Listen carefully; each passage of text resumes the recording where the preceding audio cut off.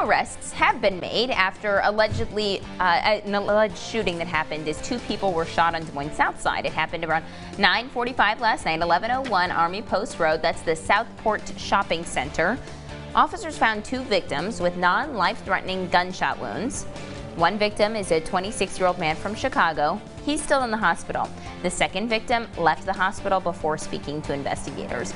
Police have arrested and charged 21-year-old Corey Brown there on the left and 24-year-old Charity Raymer there on the right, both with attempted murder. Both of these two people are from Grimes. The handgun believed to be involved in this shooting has been recovered.